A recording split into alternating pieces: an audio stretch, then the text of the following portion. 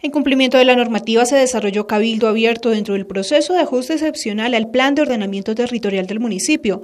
La temática es la aprobación de inclusión de siete asociaciones de vivienda en el perímetro urbano. Aquellas organizaciones, aquellos lotes que pueden ser susceptibles de ser incorporados única y exclusivamente para vivienda de interés social y interés prioritario y usos complementarios.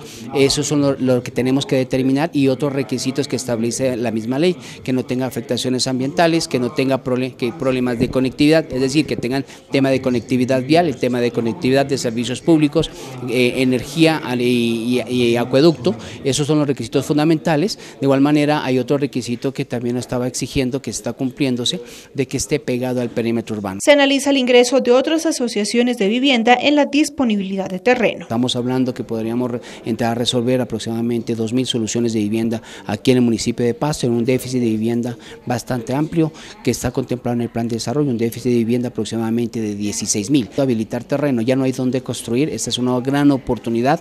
La ley tiene vigencia hasta el año 2020 y ese es un trámite que estamos haciendo en Bogotá, hablando con los ministros y hablando con los delegados de gobierno para que se dé amplitud más eh, tiempo a esta ley y que tiene vigencia hasta el 31 de diciembre del año 2020. El próximo 22 de octubre se desarrollará la continuidad del Cabildo.